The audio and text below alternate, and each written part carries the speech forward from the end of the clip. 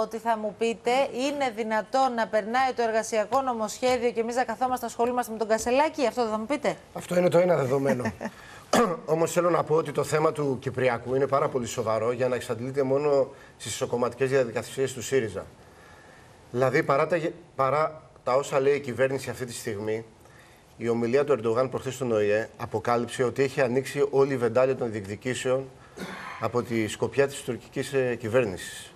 Δηλαδή, έβαλε θέμα αναγνώρισης του ψευδοκράτους των κατεχομένων της Βορείου Κύπρου. Και μάλιστα αυτή είναι μια πολιτική συζήτηση η οποία διεξάγεται επίσημα μέσα στους κύκλους του ΝΑΤΟ με την ε, αποφασιστική παρέμβαση του Αμερικάνικου παράγοντα.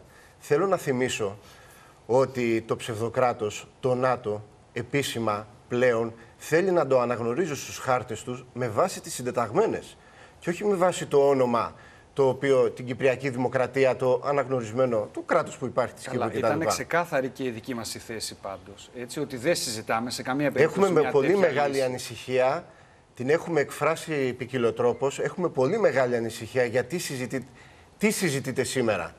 Στις διαπραγματεύσεις μεταξύ της ελληνικής κυβέρνησης και της τουρκικής κυβέρνησης ε, νομίζουμε, Δεν ότι, πρέπει να νομίζουμε συζητάμε, ότι η Νέα κύριε Δημοκρατία Μαυροκέφαλε. νομίζουμε ότι η Νέα Δημοκρατία πρέπει να ενημερώσει τον ελληνικό Ωραία, λαό σύμφωνοι. για το περιεχόμενο να της σας κάνω μια συζήτησης. ερώτηση. Επειδή εμείς εδώ θα είμαστε πάντα, δηλαδή δεν πρόκειται η Ελλάδα να αλλάξει θέση στο χάρτη, την Τουρκία θα έχει δίπλα της.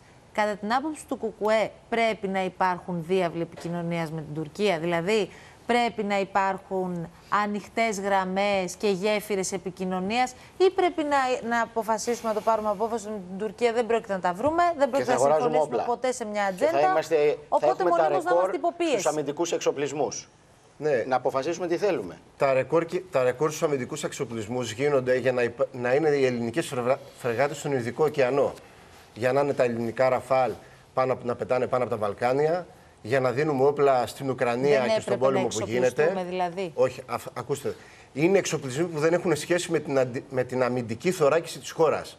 Είναι εξοπλισμοί οι οποίοι είναι πλήρως προσαρμοσμένοι στο δόγμα του ΝΑΤΟ, στο επιθετικό δόγμα του ΝΑΤΟ, που αιματοκυλεί λαούς και η Ελλάδα έχει πολύ σοβαρές ευθύνες για τη συμμετοχή και την εμπλοκή της σε Δηλαδή αυτούς τα τους F-35 σχεδιασμούς. δεν έπρεπε να τα πάρουμε; Τα F-35 και οι φρεγάτες και τα λοιπά, από τις επίσημες δηλώσεις της κυβέρνησης, θα αξιοποιηθούν, θα χρησιμοποιηθούν για τη συμμετοχή της Ελλάδας σε αποστολές έξω από τα σύνορα της χώρας. Μάλιστα, η συζήτηση για τη διευθέτηση στο Αιγαίο και την Ανατολική Μεσόγειο, τουλάχιστον από τη σκοπιά της τουρκικής κυβέρνησης, έχει βάλει το θέμα του, την προϋπόθεση και τον όρο της αποστρατικοποίησης των ελληνικών νησιών. Ελάτε. Οι ελαστικές μορφές απασχόλησης και 13 ώρες δουλειάς από το 1994 και μετά έχουν ψηφιστεί με 9 διαδοχικούς νόμους. Τους 4 τους έχει ψηφίσει η Νέα Δημοκρατία, τους 2 ο ΣΥΡΙΖΑ και τους υπόλοιπους στο ΠΑΣΟΚ.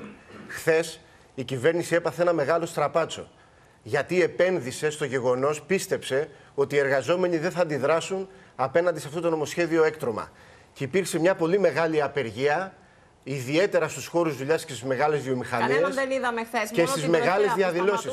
Πάρτε το πρωτοσέλιδο του Ριζοσπάστη, το έχει η κυρία Αναστασοπούλου μπροστά τη. Το μίσταρνο όργανο του Κομμουνιστικού Πα- πάρτε Κόμματος, να το δείτε τη ξέρουμε φωτογραφία. όλοι, δεν θα μιλήσουμε για το ριζοσπάστη Να- να ως δείτε τη φωτογραφία. αντικειμενική, Να- έτσι, δημοσιογραφία. να δείτε τη φωτογραφία. Προς Και οι φωτο- Θεού, οι εσείς που φωτογραφίες είσαστε δεν είναι εναντίον της μοντάζ. Ευρωπαϊκής Ένωσης, γι' αυτό δεν Λοιπόν, θέλετε και την ενσωμάτωση καταφέρατε λοιπόν ευρωπαϊκής χτες- οδηγίας. Κλείνουμε. Αλλά είναι μια Καταφέρατε ευρωπαϊκή λοιπόν οδηγία χθε και η Ελλάδα πήγατε. θα καταδικαστεί αν δεν Καταφέρατε υπάρχει χθε και ωφελεί πήγατε τους μια εργαζόμενους. ανύπαρκτη απεργία δύο φορές στα Αυξάνει τα δικαστήρια. εισοδήματα, προστατεύει Πώς τα μια δικαιώματά ανύπαρκτη τους. απεργία την πήγατε Εσείς δύο θέλετε φορές στα να δικαστήρια; νομιμοποιείτε την Να πάντρια είστε εργασία. Καλά όλοι. Έχετε- Ευχαριστούμε Βολεύει αυτό πολύ. για να Είναι έχετε απαράδεκτο να ψηφαλάκια στο θεωρείτε τον Κομμουνιστικό 21ο Κόμμα. αιώνα τον Θέλετε κόσμο εξαθλιωμένους για να τα βγάλει πέρα εργαζόμενους. να δουλεύει 13 ώρες για να παίρνει 600 ευρώ. Εδώ σε